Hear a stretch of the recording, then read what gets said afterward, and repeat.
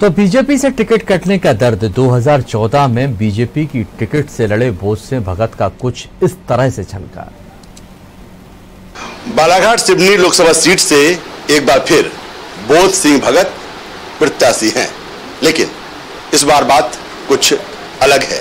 अगर 2014 का चुनाव बीजेपी की टिकट पर लड़ा था तो इस बार निर्दलीय मैदान में है।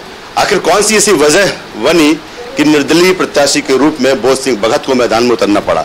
नब्बे हज़ार वोटों से आप जीते थे 2014 का चुनाव। सत्तानवे हज़ार वोटों से आप जीते थे। फिर भी इस बार निर्दलीय, आखिर वजह ऐसी क्या रही पार्टी के भीतर कि आपको निर्दलीय लड़ना पड़? रहा पार्टी ने इस समय टिकट वितरण में मेरे साथ में न्याय नहीं किया। और मैं विनिंग कैंडिडेट था और सारे सर्वे, सारे सोशल मीडिया पे मुझे ज़बरदस्त जन समर्थन हासिल था। लेकिन कहीं ना कहीं किसी के दबाव में पार्टी ने गलत निर्णय ले ली। और उसका खामियाजा पार्टी को भुगतना पड़ेगा। मैंने जनता की मांग पर निर्दलीय फार्म भरा है। जनता ने कहा, आप लड़े, हम आपके साथ में हैं। इसलिए मैं चुनाव में निर्दलीय प्रत्याशी के रूप में उतरा हूँ। और मुझे विश्वास है, जनता मुझे जिताएगी। पार्टी ने टिकट नहीं दी, लेकिन जनता ने टिकट दी है।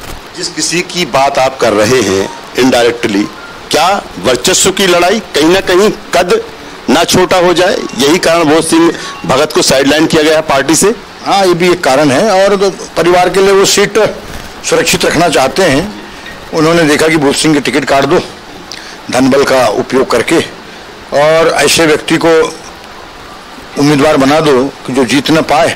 और आगे अपने लड़की के लिए सीट खाली रहे। और लाल सिंह बिशन को तो ढाल बना दिएगा जो पंद्रह साल से राजनीति से दूर थे। और दो बार केवलारी के लगातार चुनाव हारे। अभी विधानसभा चुनाव हुए, वहाँ उम्मीदवार नहीं थे। यदि ये इतने लोकप्रिय होते तो पार्टी इन्हीं को उम्मीदवार बनाती विधानसभा में, लेकिन उन्होंने निर्दलीय प्रत्याशी मुनमुन राय को चुना। पार्टी के पास उम्मीदवार न होने के कारण निर्दलीय पे दाव लगाई पार्टी ने। और वो जीते तो उसको तो ढाल बनाया गया है। और गौरीशंकर बिशन की ये का षड्यंत्र है, पार्टी समझ नहीं पाई और इससे पूरे जनता के बीच में पार्टी की बहुत हिचालेदार हुई है और पंडित दीनदयाल उपाध्याय जी जो हमारे भारतीय जनता पार्टी के जो संस्थापक थे, उन्होंने भी कहा था, यदि पार्टी कोई गलत निर्णय लेती है तो कोई ज़रूरी नहीं उस निर्णय को स्वीकार करना। उन्हीं से प्रेरणा लेके मैं चुनाव मैदान में उतरा हूँ और मैं दिखाऊँगा कि पार्टी ने जो गलती की है उसका खामियाजा पार्टी को भुगतना पड़ेगा और निर्दलीय प्रत्याशी के रूप में मैं जीत के आऊँगा मुझे पूर्ण विश्वास सिंह जी गुरुशंकर सिंह की आप बात कर रहे हैं सीधे तौर पर ज़िक्र आपने कर दिया है। वो एक वीडियो का हम बात कर रहे हैं एक चर्चा कर रहे हैं उसमें कहा गया है कि आपके समर्पण को लेकर बात कही गई है कि हम मैं कभी बीजेपी से अलग नहीं रहूँगा कभी नहीं छोड़ूँगा और बीजेपी में ही रहूँगा भले मुझे टिकट दे या ना दे। लेकिन मैंने ये भी कहा था मेरे स्वाभिमान पे यदि कोई चोट पहुँचती है मैं कुछ भी कर सकता हूँ। ये भी वीडियो में होगा। चलिए। और जी। सारे सर्वे मेरे पक्ष में सारी परिस्थितियाँ मेरे अनुकूल जन समर्थन मेरे पक्ष में उसके बाद में मेरी टिकट काटना दुर्भावना व षड्यंत्र पूर्वक मैं इसको तो बर्दाश्त नहीं कर सकता मैं। चलिए आप पाँच बार के सांसद हैं। कौन सी ऐसी उपलब्धियाँ रही हैं? कौन सी ऐसी खास चीज़ें रही हैं जिनको आपने इन पाँच सालों में इस बालाघाट सिवनी लोकसभा सीट के लिए किया है? जितने भी सांसद हुए बालाघाट ज़िले में उनसे मैंने कहीं अधिक काम किया हूँ। ब्राडगेज का काम करीब चौदह पंद्रह साल से रुका पड़ा था। हमने वो काम शुरू किया फॉरेस्ट का क्लियरेंस दिलाया और सत्रह सौ पचासी करोड़ रुपया उसके लिए स्वीकृत कराया। और नेशनल हाईवे जो एन एस सेवन जो खवासा से सिवनी जो जलपुर जाता है वो भी करीब तेरह चौदह साल से रुका पड़ा हुआ था। उसका भी हमने फॉरेस्ट का क्लियरेंस कर, क्लियरेंस करा करके वो भी अभी बनने के कगार पे है। और दो दो तीन तीन हमने नेशनल हाईवे स्वीकृत कराए। गोंदिया से लेके बालाघाट सिवनी बालाघाट से समनापुर, मंडला और हमने कई ऐसे आवागमन के सड़कें बनवाई है जो वर्षों से बनी नहीं थी। खवासा से लेकर के हमारा जो तिरोड़ी कटेदर मार्ग इतना खराब था कि साठ सत्तर गाँव के लोग वहाँ से आना जाना करते थे, चल नहीं सकते थे, उसको हमने स्वीकृत कराया और एससीएल की जो खदान है मलाजखंड में, वो बंद होने की कगार पे थी, वो ओपन कास्ट थी, उसको हमने अंडरग्राउंड माइनिंग की परमिशन दिलाकर 2000 करोड़ का निवेश करवाया हमने। बरवेली में फेरोमैग्नीज प्लांट का हमने दो पच्चीस एम का हमने स्वीकृति प्रदान की है और बीएसएनएल के करीब पूरे हर ज़िले में करीब सौ, डेढ़ सौ टावर हमने स्वीकृत करवाए हैं और पूरे ब्लॉक को हमने डिजिटल सेवाएँ प्रदान की है। इंटरनेट कनेक्टिविटी से सारी ग्राम पंचायतों को जोड़ा है। ये हमारी उपलब्धियाँ है और बहुत सारे ऐसे अनेक हर ग्राम पंचायत को हमने पेयजल की सुविधा उपलब्ध कराए, पानी के टैंकर प्रदान किए हैं। सांसद निधि भी मैं देश में पैंतीसवें स्थान पे मेरा नाम है सांसद निधि खर्च करने वाले सांसदों में। तो मेरा इतना अच्छा परफॉर्मेंस रहने का वही कारण है कि आज मैंने छः छः सात सात ट्रेन के फेरे बढ़वाए। पहले पचपन रुपये में लोग गूंदिया जाते थे। मैंने सुबह का फेरा बढ़वा करके ज़िले की जनता को दस रुपये में आज गूंदिया जा रहे हैं। मेरे पास में बहुत सारे बस ओनर्स आए कि भाव टाइम बदल दो। मैंने कहा, नहीं, जनता ने मुझे इसलिए सांसद नहीं चुनी है। वो गौरीशंकर बिशेन कर सकता है, नकली खाद बीज की दलाली खा सकता है कमीशन खा सकता है और जनता को वो जो है गुमराह कर रहा है। मंच पर विवाद की वजह यही बंद था यही कारण था। हमने शिकायत की थी यशोदा सीड कंपनी का बीज जो है, जिसमें हज़ारों किसान जो है बर्बाद हो गए अंकुरन नहीं हुआ। हमने शिकायत की थी, शिकायत में उसकी लाइसेंस निरस्त की गई थी, लेकिन गौरीशंकर बिशेन को कमीशन देकर के यशोदा कंपनी ने उनकी जो लाइसेंस है, वो बहाल कर दी। हमने उसी बात को उठाया था कि उसकी लाइसेंस निरस्त नहीं करना था, आपको बहाल नहीं करना था, ताकि दूसरे लोगों को, दूसरी कंपनी को सबक मिलता और जो नकली खाद बीज जो मार्केट में बिक रहा किसान जिससे परेशान हो रहे और मोदी जी की मंशा थी कि हम किसानों की आय दुगनी करेंगे, वो मंशा पूरी नहीं हो जब तक ये छोटी छोटी छोटी मोटी खामियाँ, कमियाँ यदि मान लो पूरी नहीं करेंगे तो ये मनसा पूरी नहीं होगी। इसलिए हमने उसको मंच पे बात बोला था, लेकिन वो एकदम भाग गए और उन्होंने कहा कि तुम मंत्री है कि मैं मंत्री हूँ? वो कब का सांसद है? स्वाभिमान को ललकारने लगे, इसलिए हमारी हाट टाक उस पर हुई थी और मैं किसानों के हित में खड़ा था।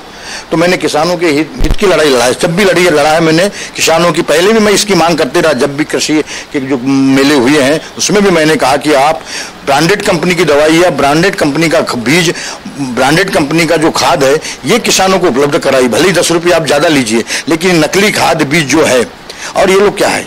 आपने एक वीडियो वायरल किया होगा हुआ है बांधवगढ़ का उसमें गौरीशंकर बिशन का वीडियो उसने कहा है सौ करोड़ रुपए में मोदी जी को दूँगा मैं टिकट ले आऊँगा और कृषि मंत्री बनूँगा, यदि नहीं बनाएँगे तो वन मंत्री बनूँगा, फिर मेरा जलजला देखना। सार्वजनिक हुआ है, पूरे देश ने सुना ये सब चीज़ें। तो ये बहुत सारी ऐसी चीज़ें हैं जो कि भ्रष्ट व्यक्ति को न जाने पार्टी क्यों इसको ऐसा प्रशय दे रही है और क्यों उसके दबाव में कहने पर आकर के ऐसी कौन सी मजबूरी की जिसके कारण जनता के समर्थन की उपेक्षा करके, जनता की उपेक्षा करके एक डमी कैंडिडेट को प्रत्याशी बनाया गया ये मुझे समझ के परे। सिंह जी एक तरफ़ आप उपलब्धि है पाँच साल की और उसी के आधार पर आप कह रहे हैं कि एक बार फिर हम यहाँ से जीत हासिल करेंगे। लेकिन ज़िक्र गौरी शंकर बिसेन का और गौरी शंकर ही कह रहे हैं कि मैं ढाल सिंह बिसेन को जिता के लाऊँगा अगर नहीं ला पाया तो मैं राजनीति से संन्यास ले जनता ने मानस बना लिया कि अब उसको राजनीति से संन्यासी दिलवाना है। और उसी का कल नहीं देखे रैली में, नामांकन रैली में, मैं तो निर्दलीय प्रत्याशी के साथ में लोग खड़े नहीं होते। डरते हैं, पार्टी से निकालने करके। हज़ारों की ताकत में दस हज़ार लोग करीब रैली में शामिल थे। आज तक जितने लोगों ने भी नामांकन भरे हैं, उससे कई गुना आगे हमारी नामांकन रैली थी। इसी बात का संदेश है कि जनता हमारे साथ में, और जनता ने मानस बना ली ऐसे भ्रष्ट व्यक्ति को, जो किसानों की खून पसीने की, परिश्रम की कमाई की जो दलाली खाता है, ऐसे व्यक्ति को हम घर बिठा लेंगे। बिल्कुल सन्यासी लेने के लिए मजबूर कर देंगे, और जनता ने ज़िले में ये मानस बना चुकी है इसको। कहा जा रहा है कि आप ट्रैक्टर चुनाव चिन्ह चाहते हैं। कारण भी यह है जिस तरह से प्रदीप जायसवाल का टिकट कांग्रेस ने काटा निर्दलीय लड़े जीते ट्रैक्टर चुनाव चिन्ह था कि आप ट्रैक्टर की सवारी करके ही लोकसभा पहुँचे? हाँ हमने मांग की अभी तो चुनाव अधिकारी पर निर्भर करता है कि कौन सा आवंटन करते हैं वो क्या नियम प्रक्रिया है। हमने लेकिन प्राथमिक ट्रैक्टर को दिया है। अंत में हम ये जानना चाहेंगे आपने कहा कि पाँच साल में मैंने बहुत काम किया। कौन सी ऐसी कसक रह गई है बोध सिंह भगत को अभी कि आप करना चाहते हैं? और आप उन चीज़ों को लेकर आप जनता के बीच में बालाघाट की सिवनी की जनता के बीच में जा रहे हैं। बहुत सारे विकास के कार्य अधूरे रह गए हैं। जैसे मैंने 22 करोड़ रुपया फ्लाईओवर के लिए बालाघाट से जो गोंदिया फ्लाईओवर है जहाँ बहुत ट्रैफ़िक जाम रहता है। मैंने आ, रेल मंत्रालय से 50 परसेंट राशि स्वीकृत करा दी थी। लेकिन राज्य सरकार ने उसमें राशि नहीं देने के कारण वो फ्लाईओवर नहीं बन पाया है। ऐसे अनेक कार्य है। जो अभी अधूरे पड़े हुए हैं उनको पूरा करने के लिए मेरी मंशा है। और मैं चाहता हूँ कि मैं सांसद के रूप में पुनः वो जितने अधूरे कार्य वो पूरा करूँगा और जनता को एक स्वच्छ प्रशासन दूँगा मैं बिल्कुल। वो सिंह जी क्या शरीर निर्दलीय हो गया है? मन अभी भी बीजेपी में है? आइडियोलॉजी विचारधारा की हम बात करें और जिस तरह से हम आपके ऑफ़िस में देख रहे हैं वो तमाम बड़े नेता मार्गदर्शक यहाँ मैं देख रहा हूँ। तो अभी विचारधारा आइडियोलॉजी वही है अंदर से मन वही है अभी? देखो अभी तो मैं निर्दलीय हूँ। तो मैं तो निर्दलीय के रूप से अपनी रणनीति बनाऊँगा और उसी हिसाब से मैं जनता के बीच में जाऊँगा जिसकी जो सरकार अच्छा नेतृत्व देगी और जनता के हित कल्याण की जो योजनाएँ बनाएगी जनता के हित में काम करेगी हम उसके साथ रहेंगे। मोदी को किस रूप में देख रहे हैं? खैर मोदी जी तो स्वयं अच्छे हैं लेकिन जो उनकी जो आगे पीछे जितने लोग जिनकी ज़िम्मेदारी सौंपे हैं वो कहीं ना कहीं ठीक ढंग से निर्णय नहीं ले पा रहे। आपको लगता है विधानसभा की तरह लोकसभा भी इसी तरह का खामियाजा मध्य प्रदेश में तो नज़र आ रहा है। टिकट वितरण में यहाँ पर बहुत गड़बड़िया हुई है और एक अस्थिरता का माहौल पैदा किया गया जानबूझ के किया गया है मेरा मुझे ऐसा लगता है।